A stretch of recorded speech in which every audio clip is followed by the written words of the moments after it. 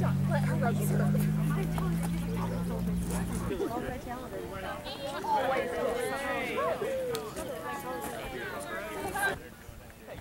gotta kick her out. You gotta kick her out. Like, like, get out of here.